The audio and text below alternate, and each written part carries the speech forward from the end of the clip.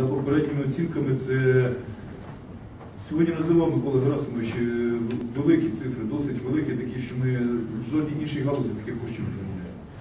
От. І це потрібно з цього кримінального бізнесу потрібно зробити легальний заробіток. І я підтримую думку, що це має бути легальний заробіток в першу чергу для е, нашого місцевого населення.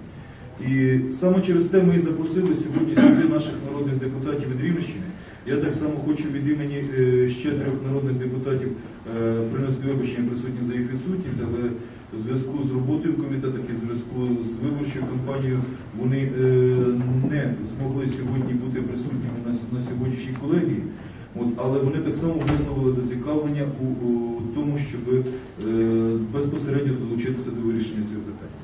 Я пропоную, щоб Ігор Олександрович, як е, керівник робочої групи е, облдержадміністрації, передав наші напрацювання нашим народним депутатам. А наших народних депутатів хочу закликати усіх е, від Рівненщини, так хочу закликати утворити свою робочу групу народних депутатів. Можливо, не знаю. Якщо потрібно, ми долучимо до цієї групи.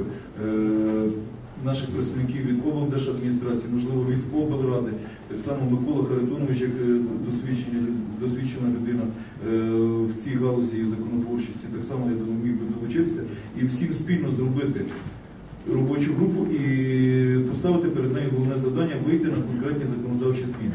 Тому що е, сьогодні вже намітилося як мінімум три шляхи: це легалізація того старательського видобутку, створення комунальних підприємств, так і третє це спрощення е, усіх тих дозвільних процедур для того, щоб е, ус- підприємства там будь-якої форми власності могли оформити ті спецдозволи і законним чином видобувати.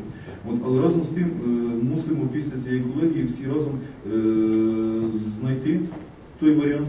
І далі вже просити наших народних депутатів, щоб відповідні е, кроки були